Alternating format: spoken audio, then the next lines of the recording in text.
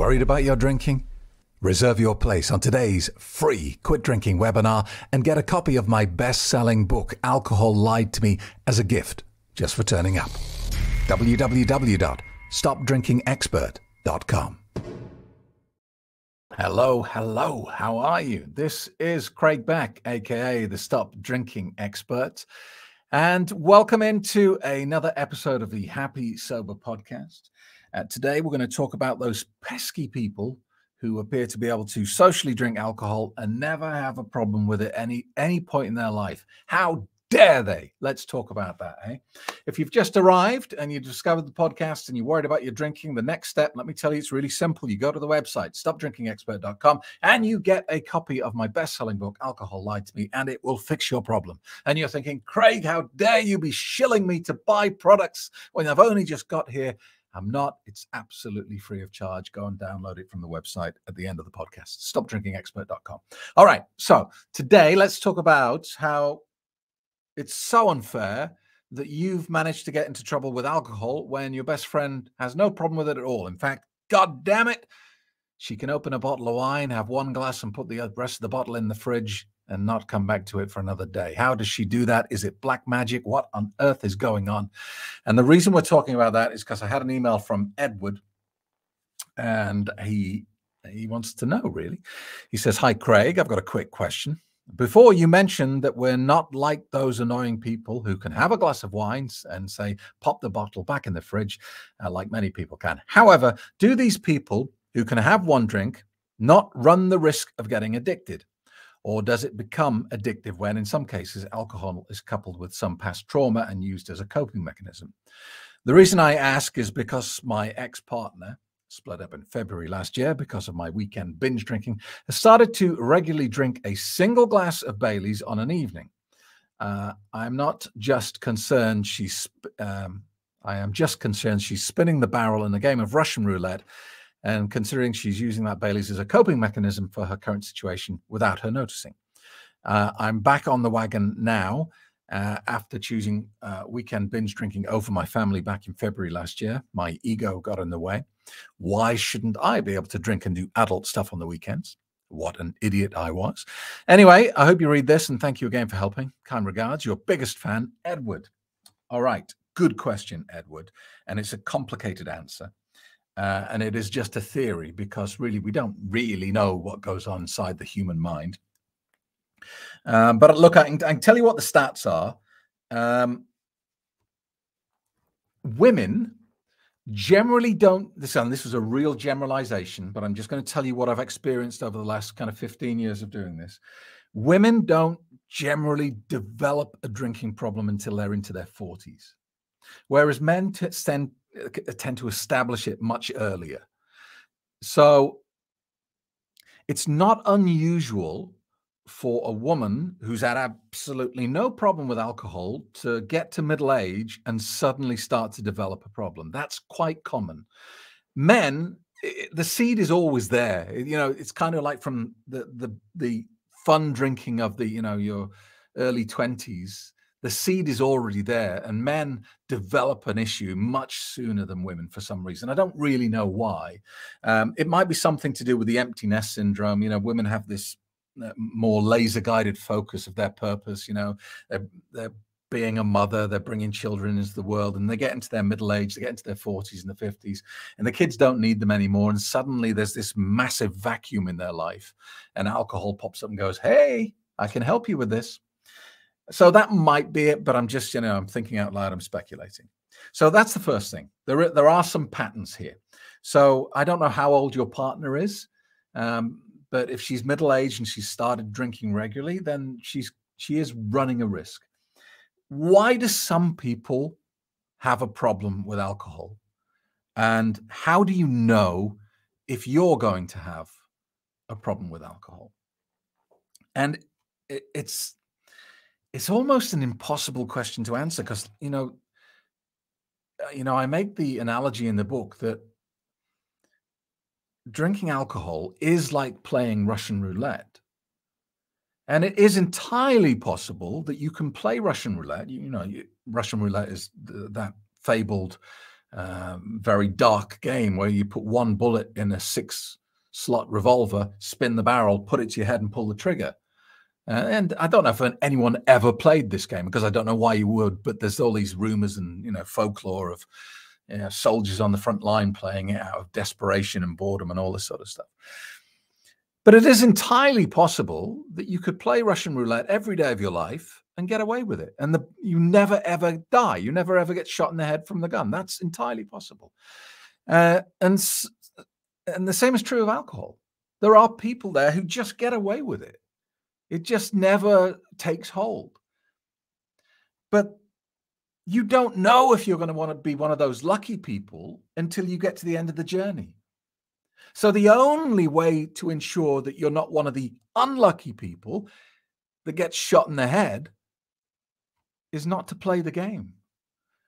And but that's you know that's that's the simple answer, isn't it? You know, if you want to be absolutely sure that you won't get a drinking problem, never drink alcohol.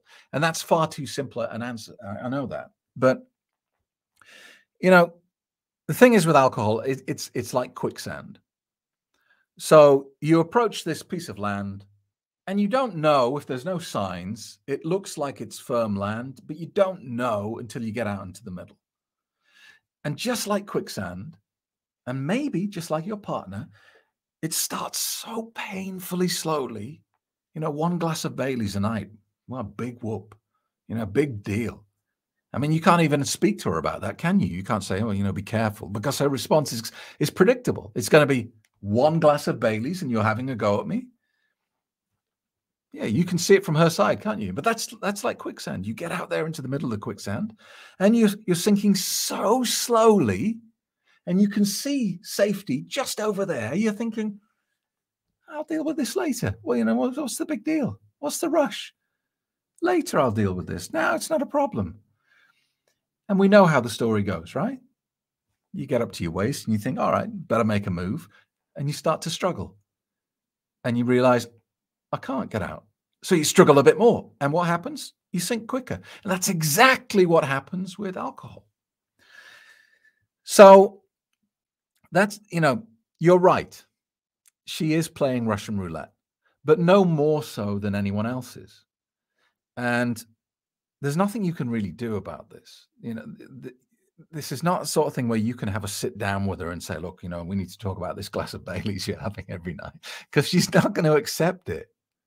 She's just going to think you're being, you know, get your nose out of my business. Why are you focusing on me so much? You've got your own problems to deal with. Off you go there's you know i think maybe you just need to relax a little bit on this one because you've been through this trauma you've got you've got the ptsd from it and when you see other people walking down the same path you want to grab them and shake them and say stop don't do it. But unfortunately and just like you know having kids as much as you would like to sit your kids down and explain everything that could possibly go wrong in life and give them the directions on how to avoid them they will ignore you. And they will continue to make the same mistakes that you made in the same way in the same order and it's frustrating and it's eh, you know it's hard to take especially when you love that person but unfortunately that's just how it has to be done. People learn through experience. Uh, so look maybe she'll get a problem maybe she won't. It's it's kind of an impossible situation. You, you you can't step in now because she'll think you're interfering in her life. Maybe she'll continue to have one glass of Bailey's a night for the rest of her life, and that happens as well. Uh, and it's never, you know, whether you quantify whether you've got a drinking problem or not, is never about the quantity or even the frequency. The definition, how you know for sure, Edward, if you've got a drinking problem, is how it makes you feel.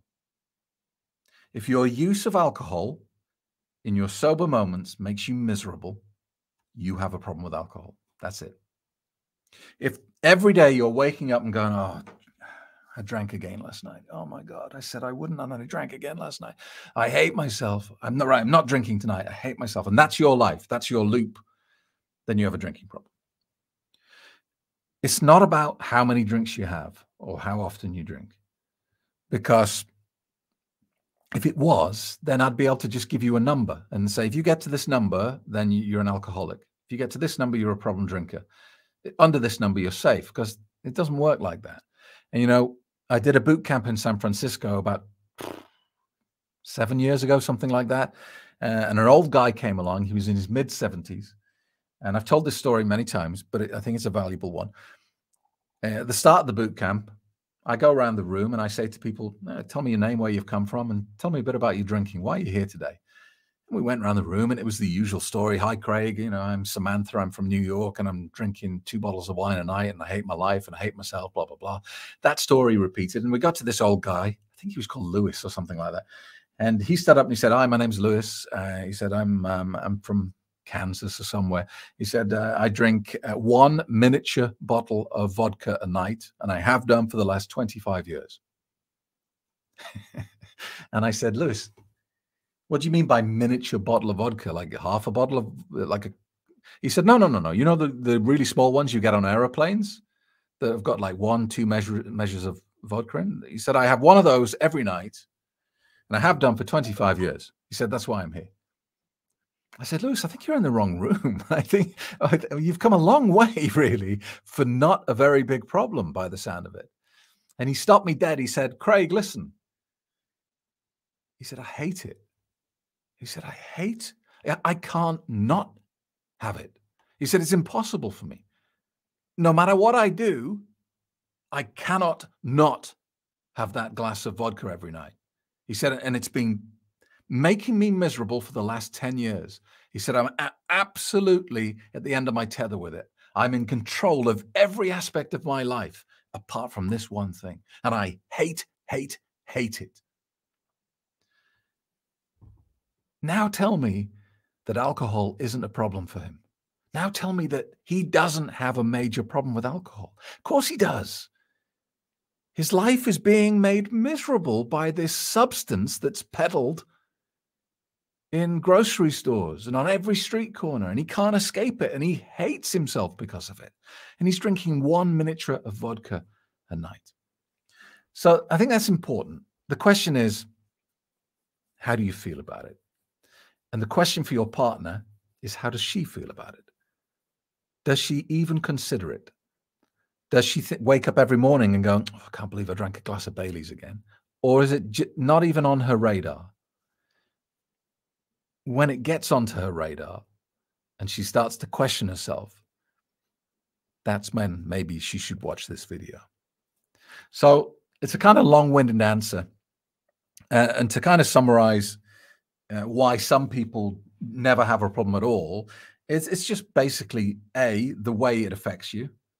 You know some people when they drink alcohol their brain lights up like a christmas tree. It's like whoa oh the lights have come on. This is amazing. Some people when they drink alcohol that doesn't happen. And can you imagine getting no real buzz from it? So you've just got that horrible tasting liquid you drink it to be sociable and you don't get any buzz why would you get addicted? And for a lot of people, that is the case. For a lot of people, they never, ever, ever get over how horrible it tastes. We problem drinkers, we teach ourselves to get over the horrible taste. And then we become wine connoisseurs and we buy fine wine instead of cheap plunk because we notice, we notice the subtle differences. Bullshit. We've just taught ourselves to drink gasoline and tell ourselves that it's orange juice. Well, some people they never they never achieve that. They can never get over how horrible this stuff tastes. So they kind of force it down like medicine at parties. They're like, oh, oh, oh I need to just drink a bit more so I'm a bit more sociable and a bit more chatty and I'm not so boring. I'll force a bit more down. But they never get to the point where they fool themselves that they like the taste of it. And that's true for a lot of people as well. Um, so that's the main part. The secondary reason why a lot of people don't get into trouble with alcohol is, like you said, they're not using it to cover something up. And that's, you know, 99% of the people that come to me are using alcohol um, to cover up something bigger. And that can be, you know, that can be anything. It can be the weirdest things, you know. Um, it could it could be something like you said trauma in the past it could be being in an abusive relationship it could be being lost and directionless in your career it could be full of guilt and regret for something bad you did in the past, and you just can't get it out of your head. And so you drink the anesthetic to make it go away, and you get into that loop. Well, you know, a lot of people have better coping mechanisms than us. They're not maybe as, you know, they didn't turn to an external source to deal with their internal problems. Maybe, you know, I mean, look, don't get me wrong, that doesn't mean they're better than us. You know, maybe they're they're just using something else to cope. You know, you get these people who exercise to the point of ridiculousness. You know, they're in the gym for four hours a day, and they're using that as their coping mechanism. Some people are hoarders. Some people fill their house with junk, and it's a coping mechanism. So, you know, just because they didn't go down the alcohol path doesn't mean they're perfect and their poo doesn't smell. It just means that they're perhaps using a different system to deal with the pain in their life, and they didn't pick the same system as you. I don't know. It depends. So, look, I hope that helps. Uh, if you have a question about alcohol, about addiction, about anything like that, drop me an email via the website, stopdrinkingexpert.com. And if you are worried about your drinking, don't sit on the fence. That's going to go nowhere. Go to the website and get your free copy of my book. Thanks a lot. See you in the next episode. Worried about your drinking? Reserve your place on today's free Quit Drinking webinar and get a copy of my best selling book, Alcohol Lied to Me, as a gift just for turning up. www.stopdrinkingexpert.com dot com.